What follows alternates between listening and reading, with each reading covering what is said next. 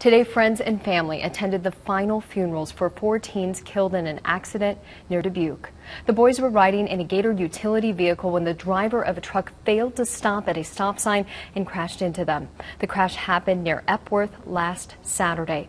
The funerals of Bryce Wilwert and Sean Kenneally were held yesterday. Mitchell Kluesner and Nicholas Kramer were laid to rest today. And it was a company owned by local monks that played a very important role in helping prepare the teens' final resting spots. There isn't a step here. When they're nice and smooth, I feel really good about my work. Without meaning. When I'm sanding, I pray for the person that's going to be in this casket. Connie Manders sands each and every one of them. It just gives you a real sense of accomplishment when you can go to a wake and you know the family. She helped complete the caskets of four teens killed in a crash near Epworth Bryce Wilwert, Mitchell Kluesner, Nicholas Kramer, and Sean Kenneally.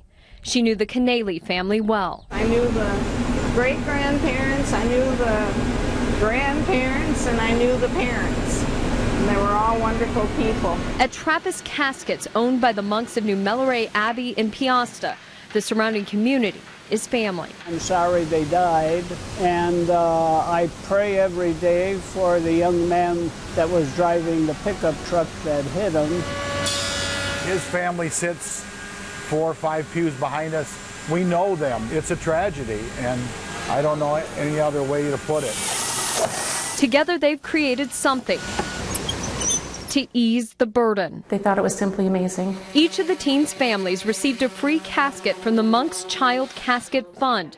The group donates caskets all over the U.S. to families in need. It's something Connie just gets. Nine years ago, I sanded our son's casket. Dennis lost a grandson. Marjorie lost a brother. The pain that I saw in, in the parents' faces, it was a flashback to, I remember my parents, what they went through. Workers say being here, creating for the dead, helps them keep living. And I always say when they put me in one of these and nail the lid shut, then I'm going to retire. Because meaning comes in steps of healing.